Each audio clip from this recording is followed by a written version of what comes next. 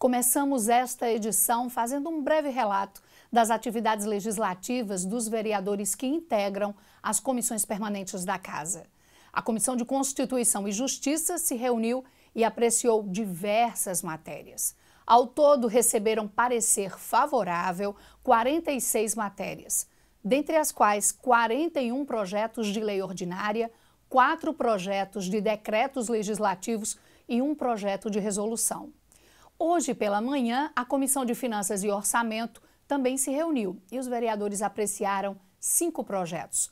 Sueli Gonçalves traz mais detalhes. Oi, Rosângela, essa reunião da Comissão de Finanças e Orçamento, a CFO, que aconteceu um pouco antes da sessão ordinária, foi para apreciar cinco projetos. Nós tivemos uma reunião muito objetiva em que aprovamos cinco matérias.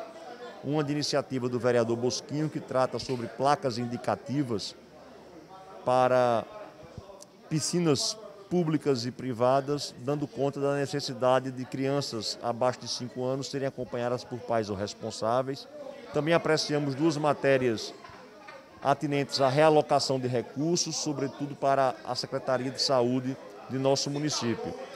E outras duas matérias relativas à criação do programa PROCON Vai às Aulas, que é uma iniciativa administrativa do prefeito Cícero Lucena, que é pioneiro em todo o país. Através desses projetos, a Secretaria de Educação vai promover um processo seletivo com estudantes da rede pública municipal de ensino e aqueles que obtiverem êxito estarão integrando este programa com a concessão de bolsa de 300 reais para os alunos que fizerem essa capacitação, essa qualificação em habilidades sociais e em noções sobre cidadania e direitos do consumidor. Para mais detalhes sobre as matérias aprovadas nessa comissão, é só acessar o portal da Câmara, que é o joaopessoa.pb.leg.br. Algumas das matérias que passaram pela CCJ e CFO hoje já foram levadas ao plenário para votação e outras continuam tramitando na casa.